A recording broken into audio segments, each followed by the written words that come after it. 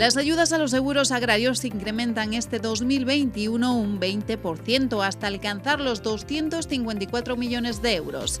Agroseguro y el Ministerio de Agricultura, Pesca y Alimentación firmaban el convenio para la ejecución de la edición número 42 del Plan de Seguros Agrarios Combinados, así como la liquidación de planes anteriores.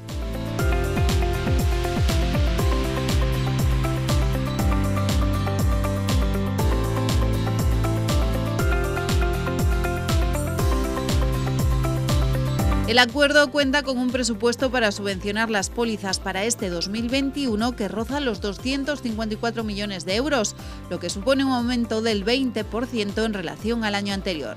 El convenio de carácter anual marca las bases de colaboración entre el organismo que concede las subvenciones, ENESA, y Agroseguro, responsable de gestionar los seguros.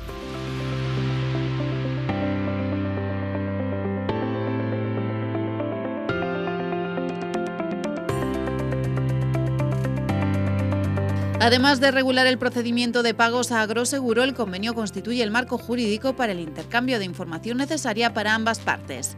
De este modo quedan establecidos los procedimientos de elaboración y suscripción de los seguros agrarios combinados y la información y documentación que hay que aportar por parte de Agroseguro, necesaria para que ENESA desarrolle adecuadamente su función de control y coordinación del sistema. La firma del convenio también sirve para evaluar otras cuestiones sobre los seguros agrarios, por ejemplo, la importancia de esta protección ante el aumento de la siniestralidad en este año.